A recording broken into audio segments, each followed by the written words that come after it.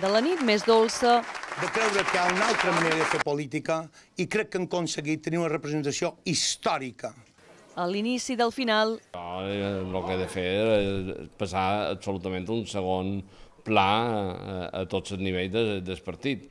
hi van 8 anys i 18.000 vots, els que separen els tres diputats del PI de Jaume Font del fracàs electoral de diumenge passat. El PI de les tres branques, Font, Malià i Pastor, començà a caminar el novembre de 2012. En la primera cita electoral, les autonòmiques de 2015, assoliren els seus millors resultats.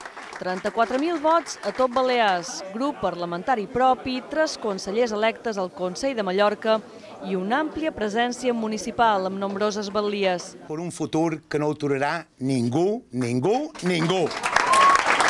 Tanmateix, les eleccions de 2019 obriren la capsa dels trons, una lleugera pèrdua de vots, malgrat repetir representants a les principals institucions, es queixaren l'arbre. Font i Malià, fins aleshores còmplices, trenquen la relació política i personal i el primer surt del partit. Per coherència i per responsabilitat presentaré la renúncia a la meva acta de diputat en el mateix moment que deixaré de ser president del partit. Hi va haver un intent de la mà de qui era secretari general Antònia Mangual de cosir ferides entre els dos sectors. Va ser president just un any. Aquest desitjat consens només existia en l'imaginari dels membres que conformàvem la permanent. Un pi irreconciliable inicia així la seva desfeta.